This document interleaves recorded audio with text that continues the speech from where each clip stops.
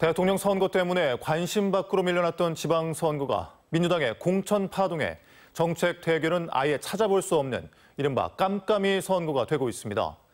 민주당 경선 과정에서 재심 신청이 본물을 이루고 있는 등 민주당의 책임론과 심판론이 불거지고 있습니다. 양현승 기자입니다. 8천 명 개인정보 유출 사태가 덮어버린 민주당 목포시장 후보 경선은 점입 가경입니다. 강성희 예비후보가 김종식 예비후보의 경선 배제를 민주당에 공식 요구한 겁니다. 경찰의 수사 등으로 인한 민심의 악화를 이유로 들었습니다. 시끄러운 곳은 목포뿐만 아닙니다.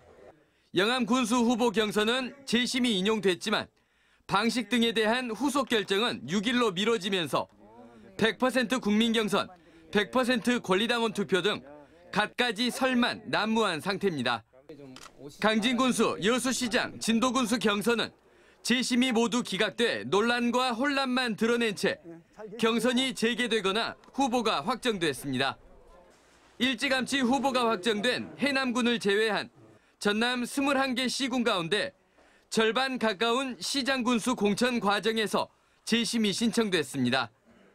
공천 확정 이후 징역형을 선고받아 공천 배제 사유가 발생한 신안 군수 후보를 놓고도 후폭풍은 불가피합니다.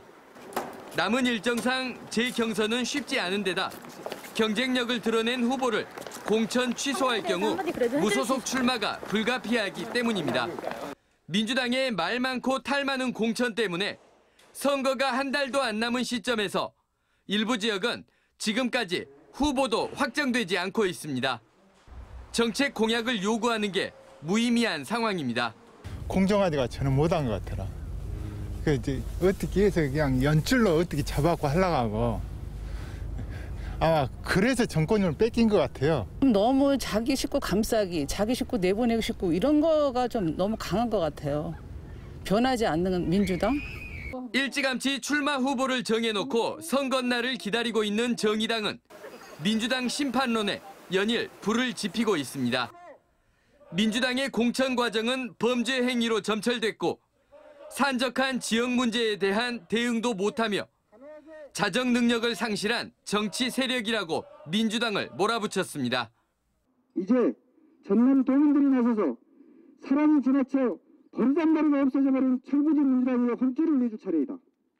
지방의원 경선에서도 권리당원 명부 유출 의혹 등을 토대로 한 반발과 재심 신청이 잇따르고 있어 실제 민주당의 내홍은 드러난 것보다 더 심각한 상황. 민주당을 향한 여론은 날로 싸늘해지고 있습니다. MBC 뉴스 양혜승입니다.